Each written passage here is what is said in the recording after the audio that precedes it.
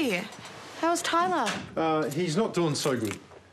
Hey, uh, have you seen where I put my phone charger? Yeah, it's, it's just in that cupboard. I um I tidied the house up a bit. Hey, listen, if, if you're not going back to the garage tonight, I was thinking maybe we could chill out.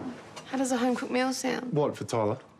No, I mean for us. Hey, listen, I've got to get going. Oh, babe, please, you promised that you wouldn't withdraw when things got difficult, and I honestly would rather you just yell at me than brush me off. I'm not withdrawing, okay? You just need to get onto something for Tyler. All right, so, so tell me what I can do. Nothing.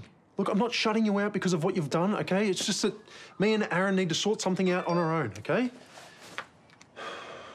That's Aaron. I've got to go, but we can talk about it later, yeah? Yeah.